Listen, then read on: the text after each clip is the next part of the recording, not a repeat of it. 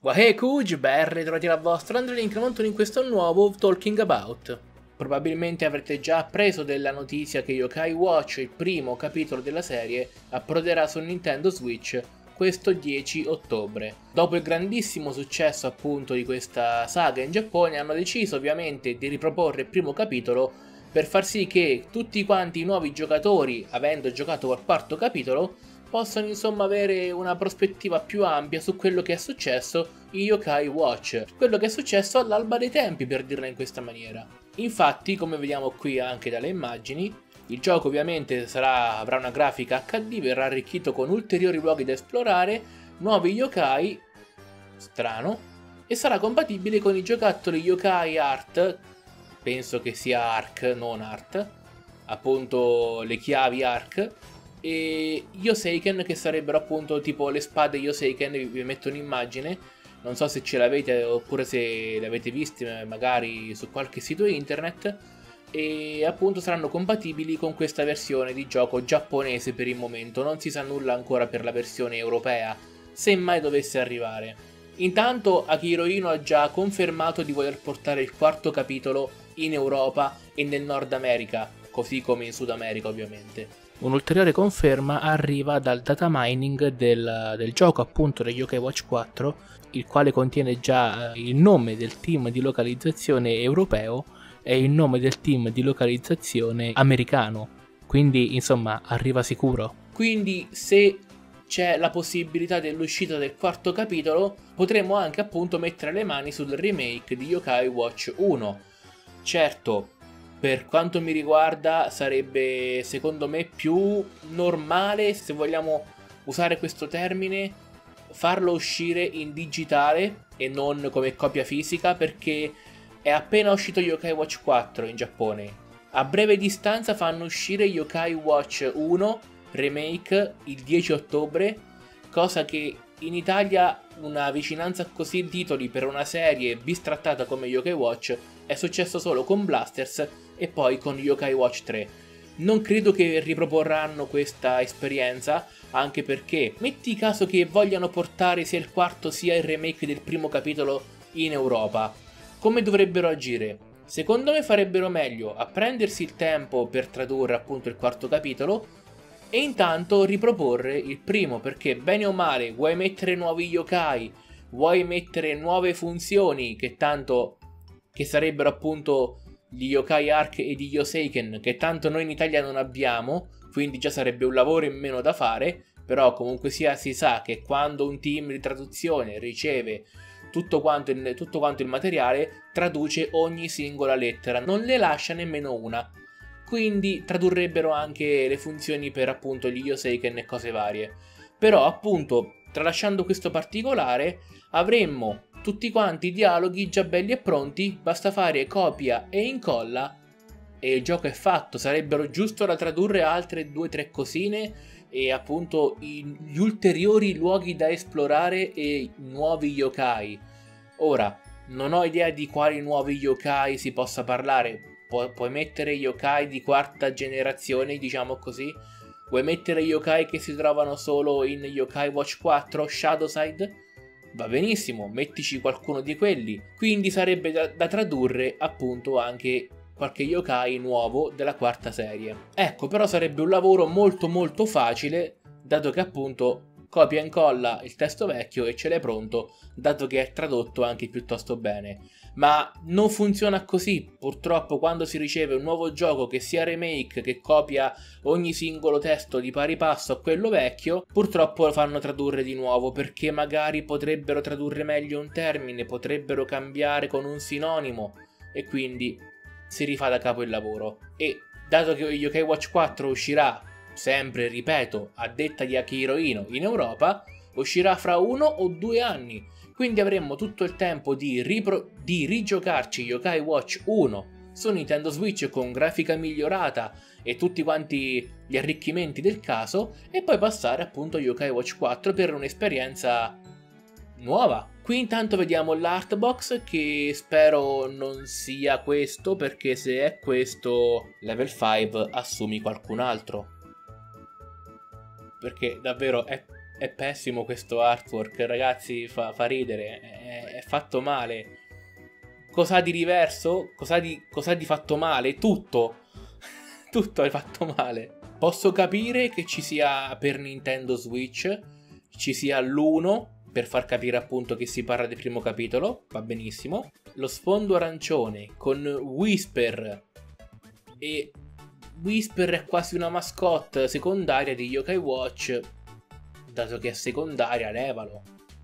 Puoi metterci un Gibanyan, ma metterci invece un Gibanyan enorme, il suo, il suo bel faccione che per quanto carino sia però, perché? Potevate farlo meglio. Ma poi io non sono un genio del marketing, quindi non posso appunto dare la mia opinione, ovvio. Poi qui insomma abbiamo anche appunto la nuova grafica. Ecco, l'ho messa un po' zoomata, quindi un po' sgrana.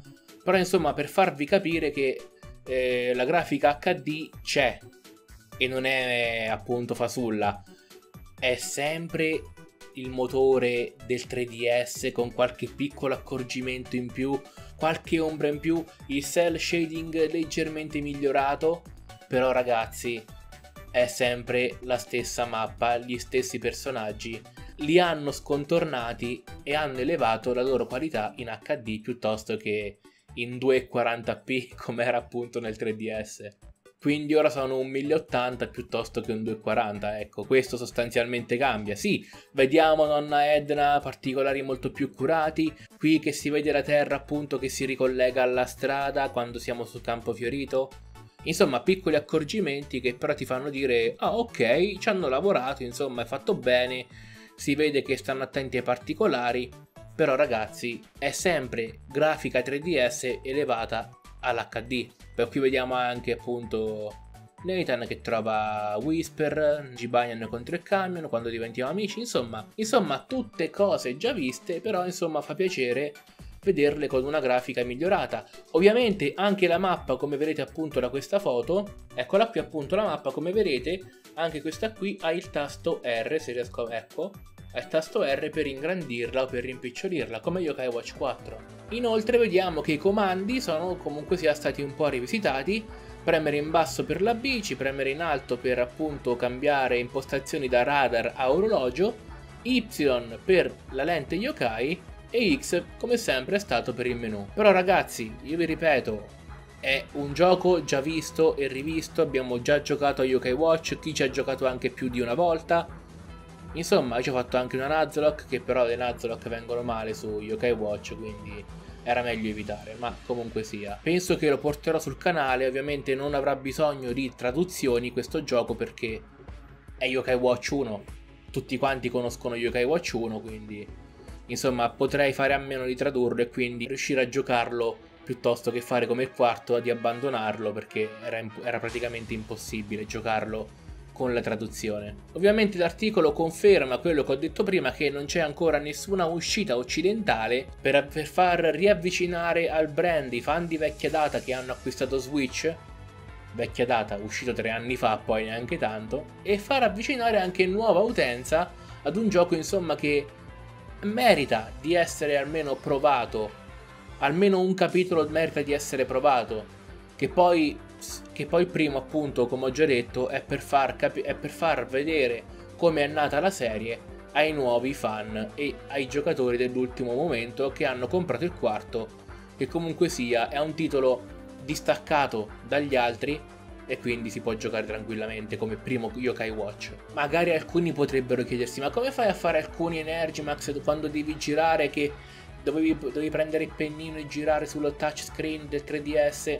ma non è un problema. Hai l'analogico destro del, del Joy-Con, del Pro Controller e si gira e si carica l'Energimax. Oppure, come faccio a caricare l'Energimax quando devo toccare sul touchscreen che compaiono le bolle e devo scoppiarle? Ecco, secondo me il gioco rileverà quando sei in modalità docked e in modalità portatile e quindi ti darà un minigioco da completare per l'Energimax che sarà possibile eseguire solo appunto in determinate condizioni. Non penso che se tu stai in modalità docked, ovvero quando Switch è collegato alla TV e ti fa fare il giochino di scoppiare appunto le bolle, perché sarebbe quasi impossibile, ci vorrebbe una grandissima coordinazione. Oppure, peggio ancora, potrebbero dare una sola maniera di risolvere l'Energimax, ovvero girando appunto l'analogico destro. Secondo me sarebbe una perdita da un certo punto di vista, ma dall'altra per me che gioco 99% in modalità docked sarebbe, non sarebbe una grandissima perdita, non cambierebbe nulla. Certo però è che con l'arrivo di Switch Lite, che è solamente portatile e ha uno schermo tattile touchscreen, secondo me sarebbe d'obbligo avere un utilizzo per il touchscreen con Yokai Watch. Però insomma non si può mai sapere cosa frulla per la testa ai ragazzi di Level 5 che comunque sia svolgono per i titoli che producono un ottimo lavoro. Quindi Yokai Watch 1 per Nintendo Switch ci vuole assolutamente, per me è promosso a pieni voti.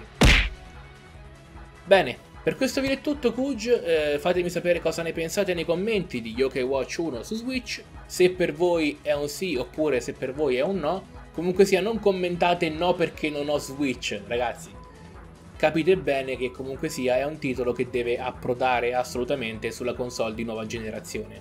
E sinceramente, vederci anche un Inazuma Eleven su Switch è fattibile.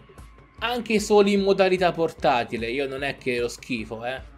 Però vedremo cosa vuole fare il level 5. Ad ogni modo, Kuji, vi ringrazio per aver seguito il video. Vi ricordo ovviamente in descrizione il link per Instagram. E se ancora non siete iscritti al canale, iscrivetevi. E noi ci vediamo come sempre nel prossimo video. Bye bye!